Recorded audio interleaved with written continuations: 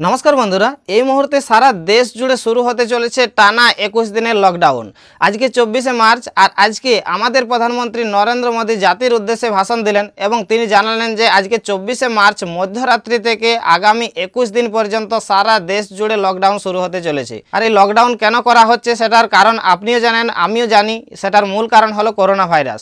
তো এই লকডাউনের সময় আপনি কি করলে আপনি সেফ থাকবেন? এই লকডাউনের সময় আপনি কি করলে আপনার পরিবারকে সুস্থ রাখতে পারবেন? সমস্ত কিছু তিনি বিস্তারিত জানালেন।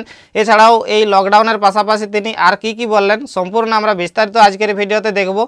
তো অবশ্যই ভিডিওটা অনেক বেশি গুরুত্বপূর্ণ। আপনি অবশ্যই ভিডিওটা শেষ পর্যন্ত দেখুন এবং আপনার বন্ধুর কাছে শেয়ার করতে ভুলবেন না। এই করোনা ভাইরাসকে প্রতিরোধ করার জন্যই আমাদের প্রধানমন্ত্রী এই ধরনের পদক্ষেপ নিচ্ছেন। আর এই পদক্ষেপ নিচ্ছেন আমার ভালোর জন্য, আপনার ভালোর জন্য, জনসাধারণের ভালোর জন্য। তিনি চাইছেন যে করোনা ভাইরাস অন্যান্য দেশের মতো আমাদের দেশে যাতে না ছড়িয়ে পড়ে সেটাকে দমন করার জন্য। আর সেই জন্যই তিনি জনসাধারণকে মোট একুশ দিন গৃহবন্দী হয়ে থাকতে বললেন। কেননা দেখুন করোনা ভাইরাস বা যে কোনো ভাইরাসেই বলুন, ভাইরাস ঘটিত যে কোনো রোগের একমাত্র চিকিৎসা হলো প্রথম নাম্বার হলো ভ্যাকসিন, দ্বিতীয় নাম্বার হলো সোশ্যাল ডিস্টেন্স বজায় রাখা।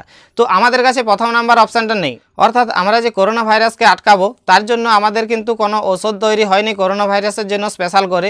তো আমরা করোনা ভাইরাসের জন্য ভ্যাকসিন বা প্রতিষেধক আমরা ব্যবহার করতে পারছি না। তাহলে দ্বিতীয় অপশান আমাদের হাতে পড়ে থাকছে, আর সেটা হলো আপনার থেকে আমার দূরত্ব বজায় রাখা বা জনসাধারণের কাছ থেকে আপনাদের দূরত্ব বজায় রাখা।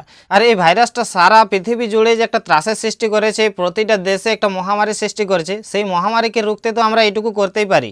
আমরা সরকারের সঙ্গে তো এইটুকু সহমত হতেই পারি। আমরা কেননা যদি ধরুন আমরা একুশ দিন কোনো রকমে অতি কষ্টে বাড়ির মধ্যে থেকে যাই, তাহলে হয়তো আমাদের এই ভাইরাসটা আর মহামারীর রূপ ধারণ করতে পারবে না, আমার পরিবারকে আসতে পারবে না, আপনার পরিবারকে যেতে পারবে না। সুতরাং আমাদের এই লকডাউন ফলো করা উচিত। আর তার সাথে সাথে ধরুন তিনি বলেছেন যে এই ভাইরাসের চিকিৎসা করার জন্য, অর্থাৎ এখানে যারা এই করোনা ভাইরাসে আক্রান্ত হচ্ছেন, তাদের জন্য পনেরো হাজার কোটি টাকা তিনি নিয়োগ করে দিয়েছেন এই ভাইরাসকে মোকাবিলা করার জন্য। তো আমাদের কেন্দ্র সরকার বলুন, রাজ্য সরকার বলুন, তাদের যতটা সম্ভব প্রচেষ্টা করে যাচ্ছে এই ভাইরাসকে প্রতিরোধ করার জন্য। তো তাদের কথা মেনে আমাদেরকে কিন্তু এই নিয়মগুলো বা আইনগুলো ফলো করা উচিত, তবেই কিন্তু আমরা এই ভাইরাস থেকে সেফ থাকতে পারি, আমাদের পরিবারকে সেফ রাখতে পারি। আর এই সামান্য একুশ দিন যদি আমরা এই সোশ্যাল মেনটেনটা না করতে পারি সোশ্যাল ডিস্টেন্সে যদি বজায় রাখতে না পারি, তাহলে আমাদেরকে হয়তো আমাদের অনেক প্রিয়জনকে হারাতে হতে পারে, আমাদের দেশের অনেক ভাই বোনকে হারাতে হতে পারে। যেমন বিভিন্ন দেশে মহামারী শুরু হয়ে গেছে, সেরকম আমাদের দেশেও মহামারী কিন্তু এখনও শুরু হয়নি। আমাদের দেশে সামান্য কয়েকটা হাতে গোনা কিন্তু মানুষের এই করোনা আক্রান্ত হয়েছে। এটাকে চাইলে আমরা এখন প্রতিরোধ করতে পারি, আর তার ওষুধ কিন্তু এখন সম্পূর্ণ আমাদের হাতে রয়েছে।